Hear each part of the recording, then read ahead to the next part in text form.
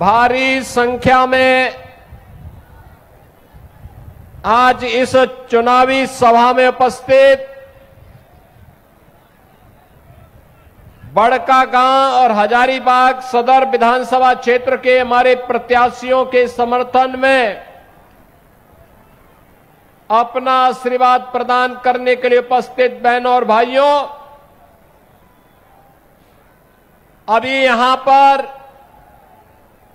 हजारीबाग के माननीय सांसद मनीष जायसवाल जी कुछ बातें कह रहे थे। मुझे लगता है कि यह रामनवमी का जुलूस यहाँ निकले। संभवतः इसी बात का इंतज़ार रहा होगा। मैं तो अयोध्या से प्रभु राम की पावन धरा से ही आपके बीच में आया हूँ।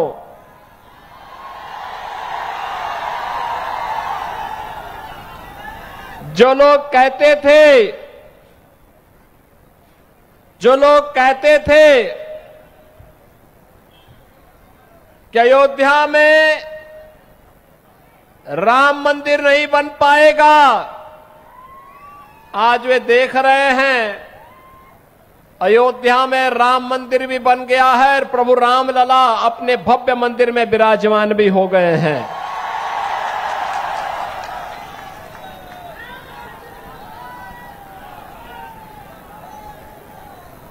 श्री राम जन्मभूमि पर भगवान राम का मंदिर बने।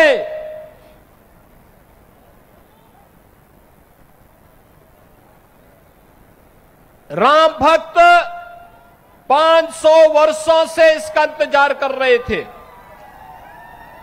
इसके लिए संघर्ष कर रहे थे। लाखों की संख्या में राम भक्तों ने अपना बलिदान भी दिया।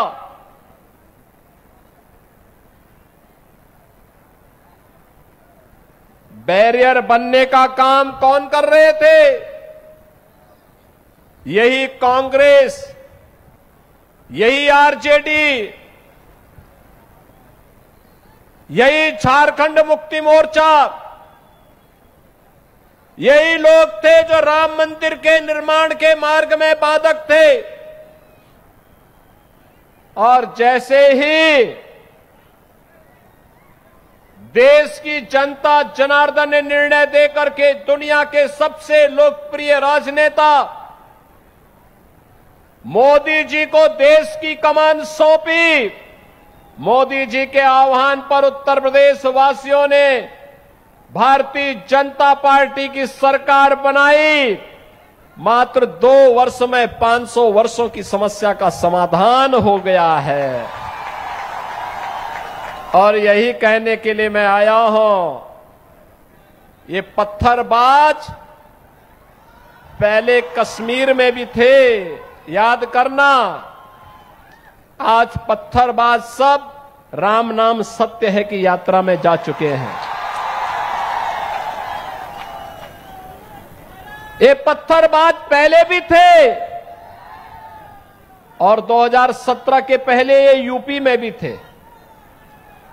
इनके आका उत्तर प्रदेश को लूटते थे। कोई खनन माफिया के रूप में, कोई भू माफिया के रूप में कोई पशु माफिया के रूप में, कोई वन माफिया के रूप में, कोई संगठित अपराध में लिप्त माफिया के रूप में उत्तर प्रदेश की जनता को लूटते थे, उत्तर प्रदेश के संसाधनों में लूट मचाते थे। और बहनों और भाइयों, उसके बदले इन पत्थरबाजों को पाल पोस करके पर्व और त्योहारों में विघ्न और बाधा डालते थे। आज आप देखते होंगे जितने दुर्दांत माफिया यूपी के थे। या तो यूपी छोड़ चुके हैं, या फिर जहन्नुम की यात्रा में भी जा चुके हैं। अरे अन्यायी और अत्याचार को जन्नत कहाँ से मिलेगा? उसको तो जहन्नुम की ही यात्रा उसके लिए होनी है। और यह कार्य बकायदा वहाँ पर हुआ है। और आज उसी का परिणाम है, उत्तर प्रदेश सुरक्षित है। उत्तर प्रदेश में पर्व और त्योहारों पर कोई विघ्न बाधा नहीं होती है। आपके यहाँ पे सप्रभारी के रूप में राज्यसभा के सांसद डॉक्टर लक्ष्मीकांत वाजपेयी जी जिस मेरठ से हैं, उसी मेरठ में गाजियाबाद से मेरठ होते हुए हरिद्वार के लिए कावड़ यात्रा निकलती है। चार करोड़ कावड़ यात्री निकलते हैं। सत्रह के पहले यात्रा नहीं निकालनी दी जाती थी। और आज हेलीकॉप्टर से पुष्प वर्षा होती है। ताकत का एहसास कराइए और ताकत का एहसास कराएँगे। जो पत्थरबाज हैं, सड़कों पे आपके लिए झाड़ू लगा करके रास्ता साफ़ करते हुए दिखाई देंगे। ये बजरंगी पताका हर घर में पहराई हुई दिखाई देगी। और उस ताकत का एहसास कराने के लिए ही ये चुनाव आपके पास है। बंटिए मत जातियों में।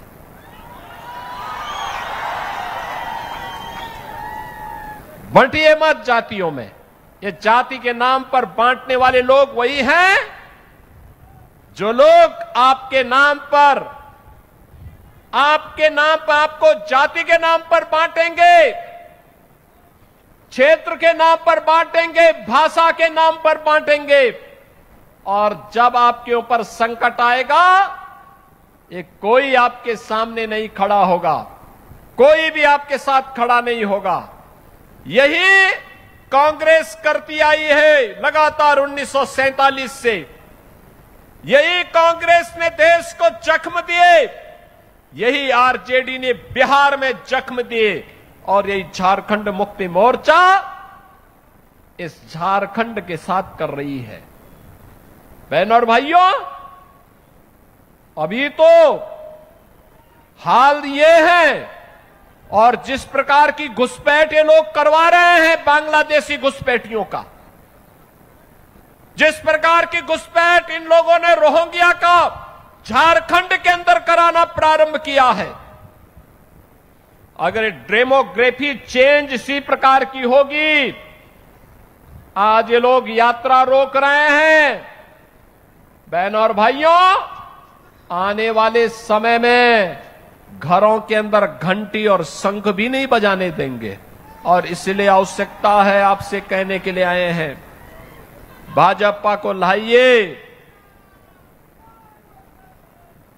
एक रहिए और नेक रहिए। मैं तो बार बार कहता हूँ, देश का इतिहास गवाह है। इस देश का इतिहास गवाह है। जब भी जाति के नाम पर, क्षेत्र के नाम पर, भाषा के नाम पर बंटे हैं तो निर्ममता से कटे भी हैं। हम बार बार इस बात को कहते हैं, जाति के नाम पर मत बंटिए। ये बांटने वाले लोग देश के साथ धोखा दे रहे हैं। इनको देश, इनके एजेंडे का हिस्सा नहीं है। भारत सुरक्षित हो, भारत समृद्ध हो। हर चेहरे पर खुशहाली आए, हर नौजवान के हाथ को कार्य हो। हर किसान सम्मान के साथ अपना जीवन यापन करे। हर बेटी और हर बहन स्वावलंबन का जीवन जिए। हर किसान के खेत में फ़सलें लहलाती भी दिखाई दे, उसके चेहरे पर भी खुशहाली हो और व्यापारी सुरक्षित हो। यह इन बांटने वाले तत्वों का, इन बांटने वाले लोगों का, इन बांटने वाले राजनीतिक दलों के एजेंडे का हिस्सा नहीं है। यह वह हर कार्य करेंगे जो भारत के विरोधी होंगे। उनको प्रश्रय देंगे, घुसपैठियों को प्रश्रय देंगे। अराजकता को बढ़ावा देंगे। हिंदुओं को जाति के नाम पर, क्षेत्र के नाम पर, भाषा के नाम पर बांटेंगे। पर्व और त्योहारों में विघ्न और बाधा डालेंगे। और चुनाव के समय आपको फिर जाति के नाम पर बहकाने का प्रयास भी करेंगे। बहनों और भाइयों, यह समय बंटने का नहीं है। यह समय तो देश के बारे में प्रधानमंत्री मोदी जी की सोच के अनुसार कार्य करने का समय है। आप मुझे बताओ, मैं पूछना चाहता हूँ ये कांग्रेस, आरजेडी, झारखंड मुक्ति मोर्चा से मैं पूछना चाहता हूँ। कांग्रेस को देश के अंदर लंबे समय तक इंडी गठबंधन को लंबे समय तक, देश के अंदर अकेले कांग्रेस को शासन करने का अवसर मिला था। उत्तर प्रदेश में भी मिला था। क्यों नहीं इन्होंने अयोध्या में राम मंदिर के निर्माण का मार्ग प्रशस्त कर दिया? क्यों नहीं किया? कारण है, इनके एजेंडे में अयोध्या नहीं था, हिंदुओं की आस्था नहीं थी। इनके एजेंडे में हिंदुओं की सुरक्षा नहीं थी। इनके एजेंडे में कहीं भी एक बेटी सुरक्षित हो, एक बहन सुरक्षित हो, एक व्यापारी सुरक्षित हो इनके समय में जब भी कांग्रेस का शासन रहा है, चाहे वह दिल्ली में रहा हो और चाहे इंडी गठबंधन का झारखंड मुक्ति मोर्चा की सरकार आपके झारखंड में हो, किसान आत्महत्या कर रहा है, नौजवान प्लान कर रहा है, माफिया हर एक जगह हावी हो गए हैं। बेटी और बहन सुरक्षित नहीं है। कहीं पे बांग्लादेशी घुसपैठ हो रहा है, कहीं रोहिंग्या का घुसपैठ हो रहा है। और दुस्साहस की प्राकाष्ठा तब दिखती है जब पर्व और त्योहार आते हैं और उनके द्वारा उस पर पथराव किए जाते हैं। जगत जननी माँ भगवती दुर्गा की यात्रा पर पथराव होता है, रामनवमी के जुलूस पे पथराव होता है। बहन और भाइयों, सत्रह के पहले यूपी में भी होता था। आज यूपी तो न कर्फ्यू, न दंगा, यूपी में अब सब चंगा क्योंकि डबल इंजन की सरकार है। और उसी डबल इंजन सरकार के लिए आपका आह्वान करने के लिए मैं आया हूँ। और आज मुझे बहुत अच्छा लगा। लोकसभा चुनाव के समय मुझे हजारीबाग में मनीष जी के लिए आना था। और उस समय मेरा कार्यक्रम लगभग बन भी गया था। अचानक टेक्निकल फॉल्ट के नाते जहाज़ हमारा खराब हो गया। नहीं आ पाए। फिर मैंने मैसेज भेजा था। एक वीडियो रिकॉर्डिंग भी भेजी थी। और आज मुझे बहुत अच्छा लगा कि मुझे यहाँ पर उनके द्वारा समर्थित प्रत्याशियों के समर्थन में विधानसभा के चुनाव के बहाने ही यहाँ पर वाजपेयी जी लेके आ गए। बहनों और भाइयों, भारतीय जनता पार्टी आज मोदी जी के नेतृत्व में कितना अच्छा काम कर रही है। जहाँ जहाँ भाजपा की सरकार है, गरीब के लिए, किसान के लिए, नौजवान के लिए, महिलाओं के लिए भी योजनाएँ हैं। इंफ्रास्ट्रक्चर के भी बड़े बड़े कार्य हो रहे हैं और विरासत और विकास के भी अद्भुत कार्य हो रहे हैं। आपने देखा होगा कितना अच्छा कार्य हर एक क्षेत्र में।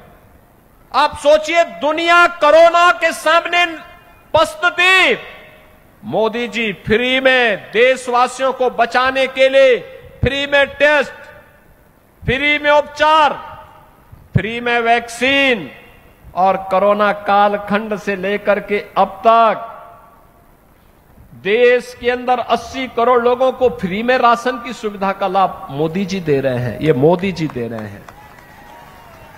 आप सोचो, ये कांग्रेस, आरजेडी और झारखंड मुक्ति मोर्चा तो गरीबों का अन्न हजम कर जाते हैं और मोदी जी 80 करोड़ लोगों को फ्री में राशन दे रहे हैं।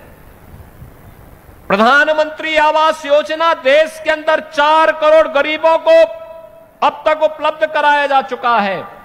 और मोदी जी ने कहा है, झारखंड के अंदर सरकार बनाने दीजिए, एक बार भाजपा की सरकार आने दीजिए। 21 लाख गरीबों को अकेले झारखंड के अंदर एक एक आवास प्रधानमंत्री आवास उपलब्ध कराया जाएगा।